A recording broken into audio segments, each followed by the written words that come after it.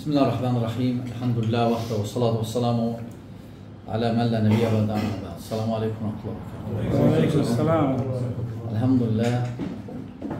Yəni məclisimiz yaşlı qardaşlarlandır. Elhamdülillah. Və təbii ki, insan ə, həmişə bir halda qalmır. Həyat gedir belə baxanda ömür qıssadır. Yəni, onu bilmək üçün hələ bax ki, həyatımın yaşadığım vaxtlara necə tez getdi. Sən yadıma gəlir ki, sən cavan idin, amma indi gör artıq neçə yaşdan. Və necə tez keçdi hər şey. Və qiyamət günü bu daha da bilinəcək. Hətta qiyamət günü Allah Taala o gündən bizə xəbər verir, deyir, insanlar deyəcəklər ki, bu dünya bir gün imiş. Və elmli olanlar deyəcəklər ki, yarım gün imiş. Və həyat gedir. Və insan yaşlaşır, saç ağarır, ə, bədən zəifləyir. Və təbii ki, ə, Peyğəmbər sallallahu əleyhi və səlləm buyurub ki, Əl-baraka ma'akabirakum. Bərəkət sizin böyüklərinizdəndir. Və biz böyüyə, böyüklərə münasibətdə təbii ki, fərqli olmalıyıq. Çünki onlar bu həyatı çox səsin yaşayıblar, çox görüblər. Və ona görə Peyğəmbər sallallahu aleyhi ve sellem hələ belə deməyin. Deyərdi, bərəkət cavanlarla, yox, bərəkət yaşlılarınızlandır, böyüklərinizləndir. Ona görə bizə vacib olan nədir?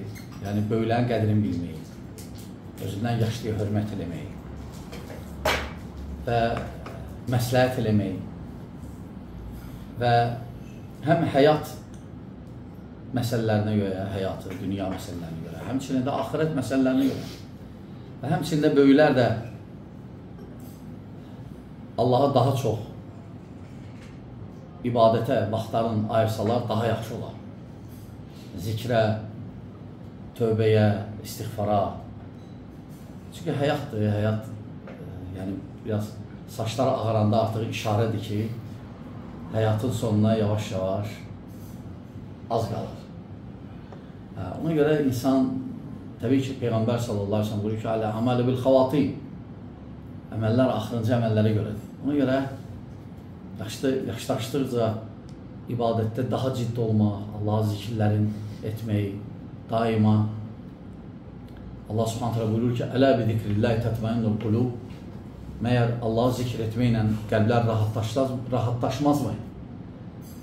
Yəni zikri çox eləmək, tövbəni, istighfarı, cavanlara nəsiyyəti, cavanlara nəsiyyəti, övlada nəsiyyəti.